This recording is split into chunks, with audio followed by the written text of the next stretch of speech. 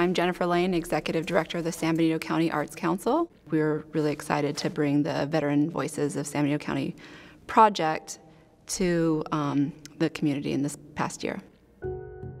The initial spark actually was a grant opportunity through the California Arts Council called the Veterans Initiative in the Arts. The purpose of this grant really was to uh, create opportunities for veterans to engage in the arts and also to um, engage with veterans' stories to kind of share those stories with the broader public. Our first stop was to come down here to the Veterans Memorial Building and meet with the VFW and American Legion. One of the top things that their wish list was to do a mural on the East Street side, the back side of the Veterans Memorial Building, which is a beautiful historic building um, in downtown Hollister.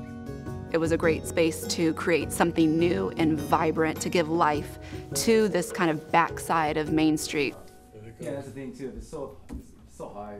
In uh, South Carolina. The first process was a collaborative dialogue between the lead artist, Ray Orabuena, and the veterans groups. Ray was identified early on by the veterans groups.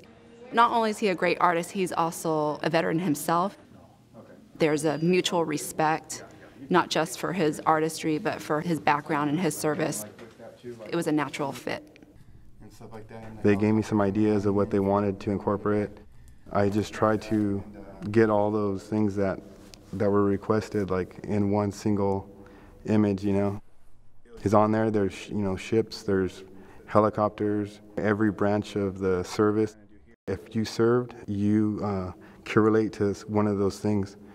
You know, whether it be a carrier, or the the helo, or you know, foot patrol. He started working on his design, continued to tweak it until he got down to what he thought was sort of the, the final design he wanted to put forth to the Public Art Review Committee. And there was a unanimous approval for that um, mural. That recommendation went forward then to City Council. He's ready to get started. Who finally gave the stamp of approval for the project.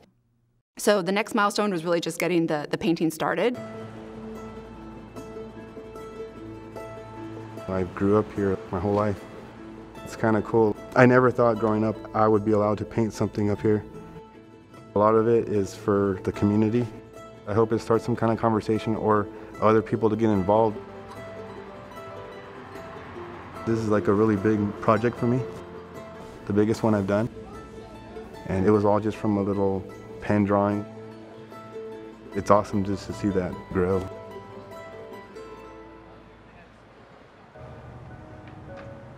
Creating this amazing mural as part of this project. This is really building up our public art collection um, in downtown Hollister.